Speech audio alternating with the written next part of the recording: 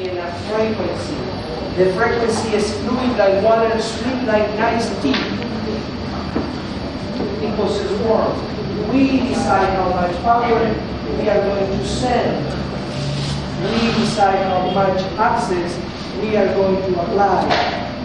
We decide all the movements available.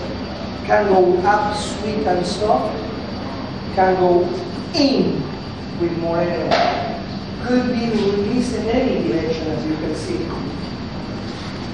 The idea is just to conquer the axis, which is now in this leg, and make the other leg go around, go around and up by the squishing of that energy we command around her axis. So what we learned today is that it's not necessary to do enormous movements out of our reach, out of our dancing possibility.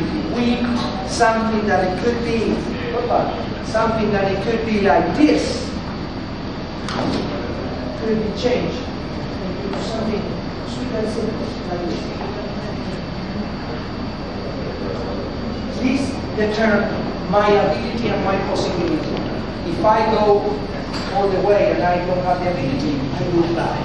If I keep the things close to the floor, I do better. So the floor is always a threat. And the step today is very simple. The Sky is step, changing, waiting for the lady, this will be step back. And this will be the other four.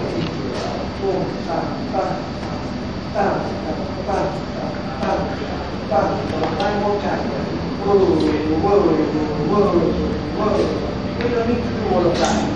We know how it's built and we know how to do it. Do it with the responsibility of your ability. Thank you very much.